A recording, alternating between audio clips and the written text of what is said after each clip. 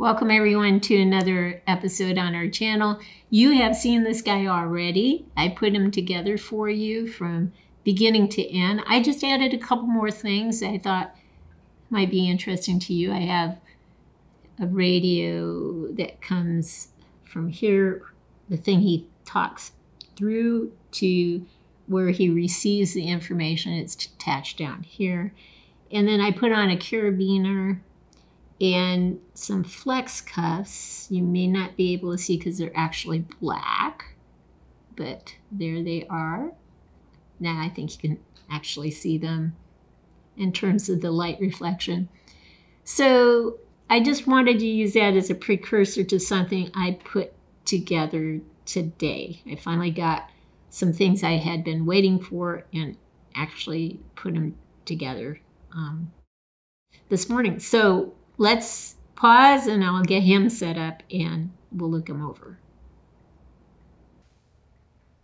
So we're back and I wanted to show you what I did this morning. I actually received in the mail some items I had been waiting for. I had Morgan Freeman lying around for some time and I really wanted to do something special with him and at first I thought I might put him in the Batman trilogy.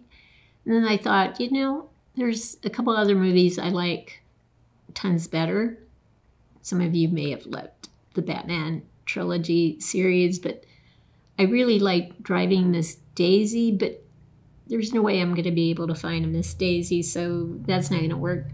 So I thought I could just use him as a representative of the movie Glory, which was a fantastic movie.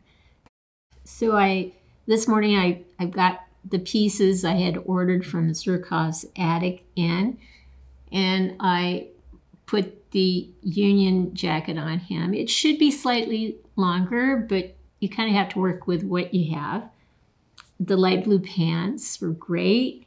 Now, since he's a sergeant major, I do need dark blue lines on the side of the pants, but uh, pretty much he's about 90% complete. So I still have some work on him to do, but I'm getting there. I love the jacket. I love the pants. I was able to find from the same place um, Civil War U.S. belt and a sheath for a bayonet that comes out. You can see the bayonet here, which attaches to the musket. It's not appropriate to the movie. The bayonet sheath looked a little bit different, but this was a sheath that was used in the Civil War. So until I can create something more appropriate for the movie, I'll live with this one. The musket is is is great. There's a percussion cap pouch here and a cartridge pack to the side that you'll see when we turn him around. So, oh, I should mention the cap or the hat. This was actually originally a Confederate hat. The Union ones that Zhukov had on his um, eBay site were actually plastic. They just didn't have appeal to me. I liked the cloth one better. And the only one that was made out of cloth was a Confederate hat. So I got that one and painted it to match the Union jacket. And I think that worked out fairly well. It may not be a perfect match, but I think it works. So let me uh, start turning them around so you can see more. The other thing I tend to do, you know, you guys know me by now.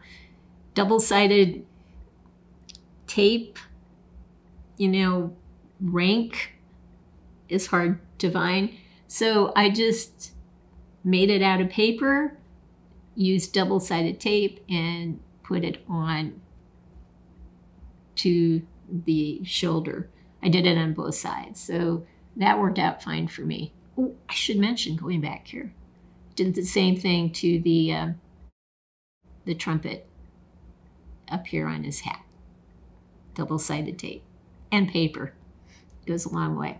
All right, so, oh, one last thing I should mention with the shirt. Sometimes when you have shirts that flare out at the end, they're like too wide.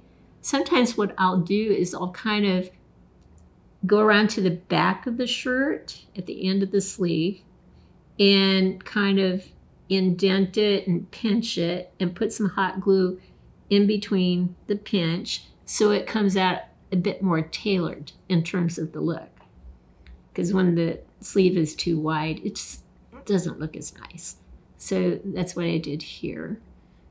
So we'll turn him so you can see him from different angles. There's his rake, the canteen, which is appropriate to the time, is there.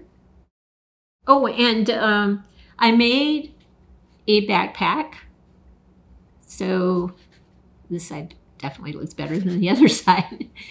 Uh, but I think that'll look really great on him once I, you know, put leather shoulder straps on it. I think that will look very good, you know, especially if you look from this side again. Hold on. It'll look really good. And this saved me a bit of money just to make it. You know, just take some leather. You know, I use some foam on the inside and then I used some material and just wrapped it up and then used some more leather to do some wraparound types of things. But I think that will look just fine when I'm done with it. All right, so we'll keep going around. There's the sergeant major rank on the other side. I am so happy with how this turned out. I love the pose too. So he played a major role in the movie.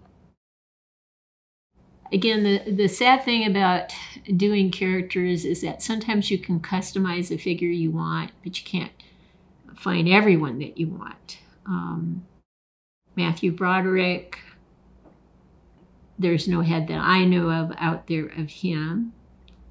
So I don't think I can ever make him.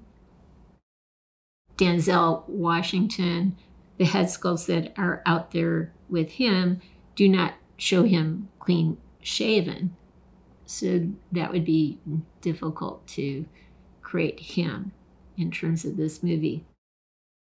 I could probably uh, do Cary Elwes, Elwes, I think that's his last name.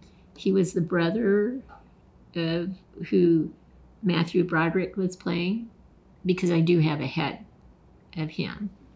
I would just have to cut the bun off of his head where his hair is put, because he's part of the set that went with um, Princess Bride. So I could probably do him, but he's the only other character that I have ahead that actually would work for this particular movie. So for now, I had to be content with Morgan Freeman, but he is such a great actor um, and played such a great role in this movie. I am exceptionally content with how this turned out so far. And when I'm done with him, I will be even more content. Anyway, I hope you like what you see. So here he is, and you can see a lot more details now. The union coat, the hat, the trumpet on his head, the medallion here. Here's the uh, the sheath to the bayonet. Again, We'll look at it with a more close up. That would go on the musket there, if needed. His, uh, his belt says U.S. There's the percussion cap pouch, all right? And you can start to see the rank on the sides of his arm. Again, that's made out of paper and double-sided tape just like the trumpet is. We can turn him around. You can see hopefully a few more things. The canteen comes more clearly into view. And this is where I, uh, I pinched the, uh, the material and put a little hot glue in there to make it look quite more tailored. The one thing here that frustrates me a little bit is that this pouch does not lay down nicely. I'm going to figure out how to settle that down a bit. That's the uh, cartridge pouch. All right. And that's pretty much it. I should have showed you a close-up of this though. Let me go back here again. So if I were to, you know, put the backpack on, I need uh, leather straps to put around his arms though. But anyway, I thought this looked pretty good, you know, so we're almost there.